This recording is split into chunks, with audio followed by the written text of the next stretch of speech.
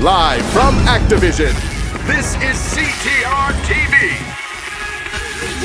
Greetings, Earth slugs. Do not worry, I have no plans to retake your mushy planet. You can keep it for yourselves. I am transmitting to you from the planet Gasmoxia, where I challenge you all to test your puny skills in a race on our latest track, constructed high above the planet's surface.